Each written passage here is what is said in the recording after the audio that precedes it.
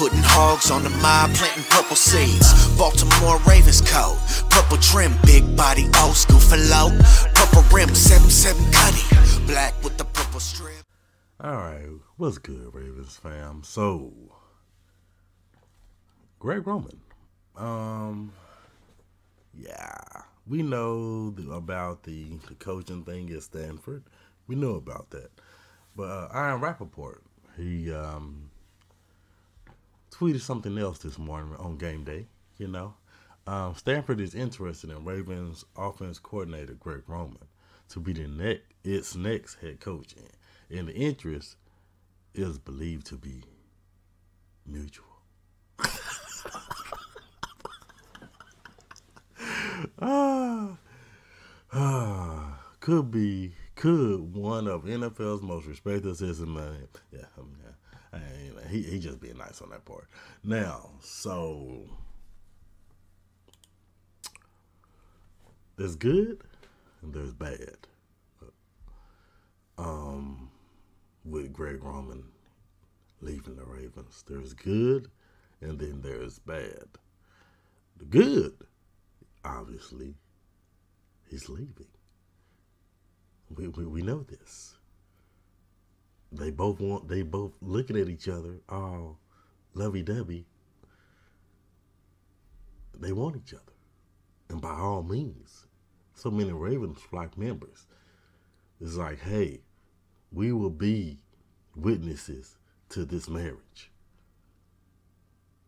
of both of you all saying I do to each other. We, we will be happily witness to this marriage. No one will stand up and disagree to this marriage of Greg Roman and Stanford.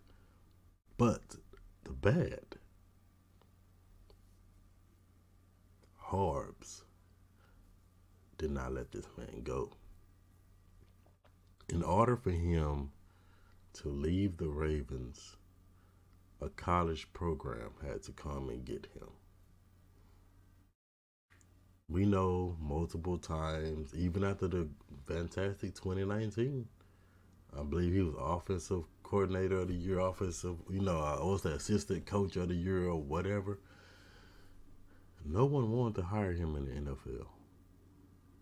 No one.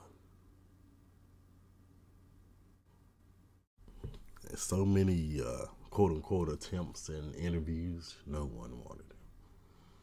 Harbs didn't want to let him go. You you saw you, did you see how Harbs looked when he reported that earlier last week?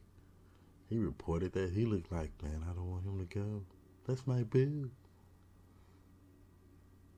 But it took a college team to come and get him to get away from the Ravens. Now, could this Ravens versus Denver be his last game? Who will replace uh, Roman? Is either going to be the quarterback coach?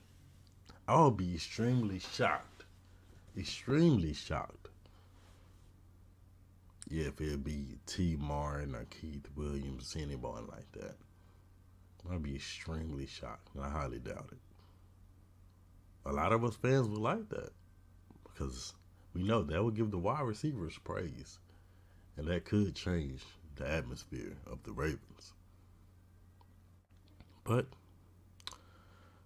we will see. We will see.